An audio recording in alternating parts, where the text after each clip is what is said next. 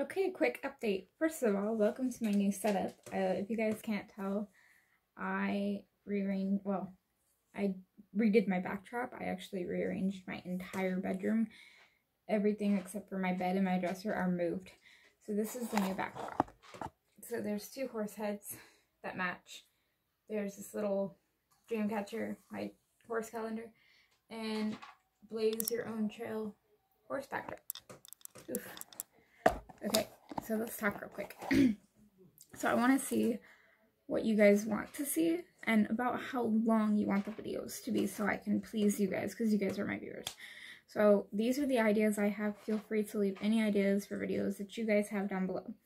Now, I plan on doing um, a daily ride video with Boog if you guys are interested in that. So tomorrow would be day three under saddle, so I'd be filming day three and posting that. If you guys are interested in that, let me know down below. Fact of the week. I can go back and do fact of the weeks. Um, I want to know if you want me to do fact of the week. Is there a specific topic about horses that you want me to do? If there is, comment down below.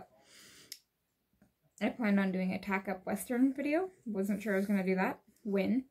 Um, if you guys want to see that, I can do that. Trailer training part 3 without a trailer. I already know what I want to do for that.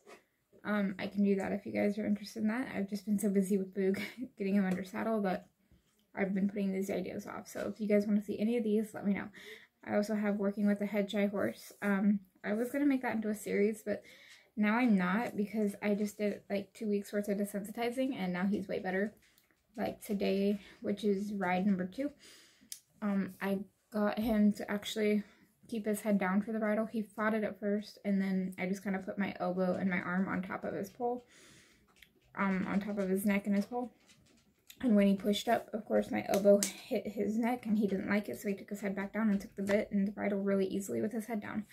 So if you guys want to see where he's at with that, I can do a video on that. So comment down below any video ideas you want, or that you have that you want me to do, the length about what, you know, a minute, 10 minutes, 20 minutes, however long you guys want it to be. Um, if you guys agree or disagree with any of these video ideas, comment them down below. And uh, yeah, I'd love to do what you guys want to see. Welcome to the new subscribers. Um, thanks, guys.